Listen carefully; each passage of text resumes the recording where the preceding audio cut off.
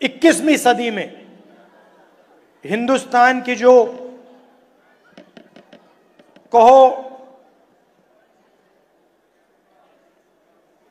Social empowerment की जो सोच है, अंबेडकर जी की, फूले जी की, बुद्ध भगवान की, गांधी जी की, वो इसके अंदर है। आप किसी भी स्टेट में चले जाइए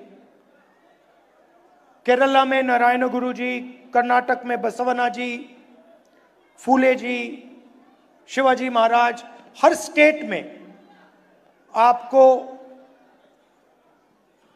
ऐसे दो तीन नाम मिलेंगे जिनकी सोच इस किताब में आपको मिलेगी। मैं आपसे पूछना चाहता हूँ, इसमें सावरकर जी की आवाज़ है क्या? इसमें कहीं लिखा है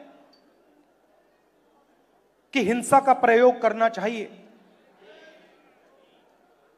इसमें कहीं लिखा है कि किसी व्यक्ति को मारना चाहिए, डराना चाहिए, काटना चाहिए। कहीं लिखा है इस किताब?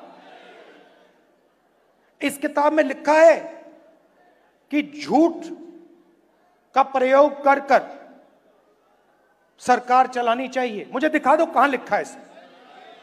तो यह सत्य और अहिंसा की किताब है। सिंपल सी बात है। यह हिंदुस्तान का सत्य है और यह अहिंसा का रास्ता दिखाता है।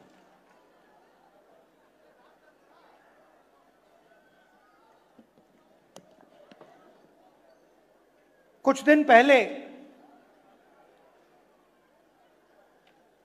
तेलंगाना में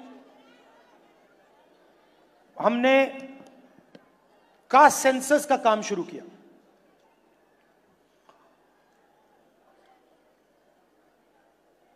और वो ब्यूरोक्रेटिक एक्सरसाइज नहीं है। पहली बार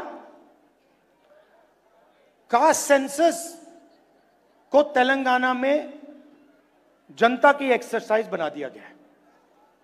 जो सवाल पूछे जा रहे हैं जो सवाल पूछे जा रहे हैं वो बंद कमरे में 10-15 लोग नहीं चुन रहे हैं। वो लाखों लोग, उसमें दलित, आदिवासी, पिछड़े वर्ग के लोग, गरीब जनरल कास्ट के लोग, माइनॉरिटी के लोग सब लोग हैं और तेलंगाना की जनता ने सेंसस डिज़ाइन किया है। ऐतिहासिक कदम है। और जो हम तेलंगाना में कर रहे हैं, जहाँ भी हमारी सरकार आएगी, जिस स्टेट में, चाहे कर्नाटक हो, तेलंगाना हो, और आने वाले समय में जहाँ भी हमारी सरकार आएगी, हम उसी प्रकार से जाति जनगणना को करेंगे।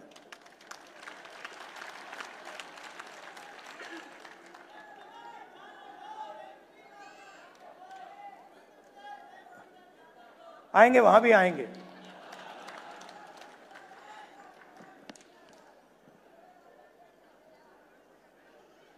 जाति जनगणना क्यों? क्योंकि अगर हमें हिंदुस्तान के पॉपुलेशन को देखें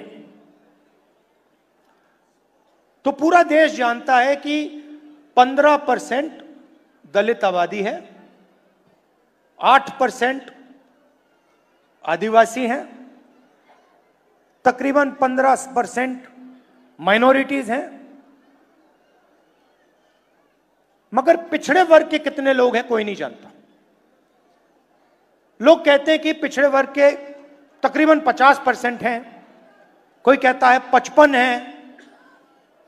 अलग अलग स्टेट्स में अलग है। मगर पिछड़ा वर्ग 50 परसेंट से कम नहीं है। कितना है कोई नहीं जानता तो अगर आप जोड़ लें 50 परसेंट पिछड़ा वर्ग हो गया 15 परसेंट दलित,